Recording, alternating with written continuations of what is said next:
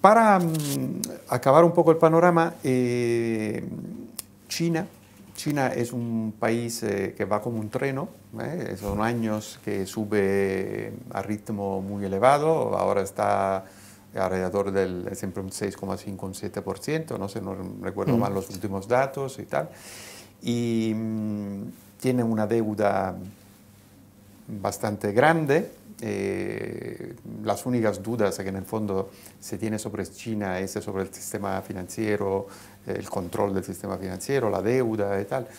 ¿cómo, veis tú um, China? Porque eh, han crecido y pueden mejorar todavía más, en el sentido que eh, es un país con muchas personas, con muchos recursos, pero también con estos problemas de deuda y de control de menos transparencia quizás va con del sistema bancario, al menos desde el punto de vista exterior. ¿no? China es compleja. Eh, yo no lo, no lo, no soy un experto en China, ¿no? pero sí lo analizamos con mucho cariño por, el, por las consecuencias que puede tener sobre mm. nosotros. ¿no? A ver, eh, China está creciendo al 6,6, 6,7, probablemente el año que viene al 6,5. Eh, si las estadísticas son fiables, que a veces lo son y a veces no.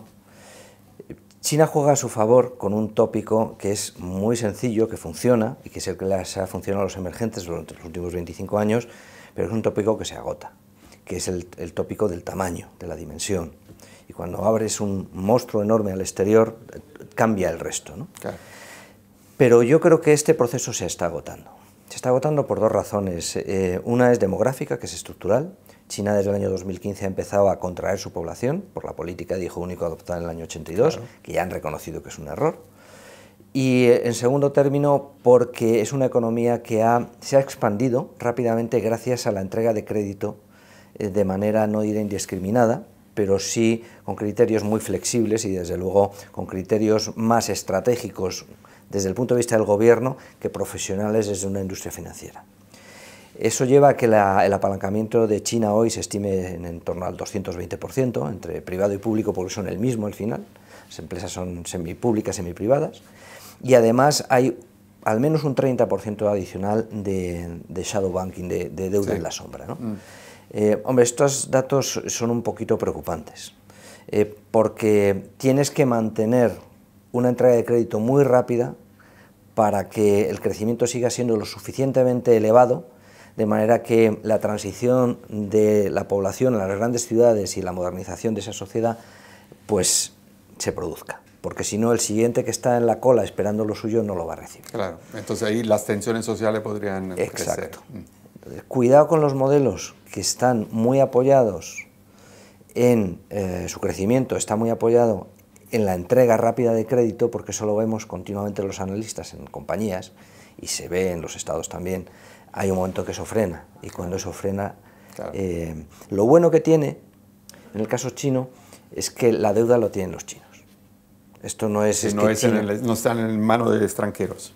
Entonces China yo creo que va a implosionar cuando suceda muy lentamente, pero no va a explosionar.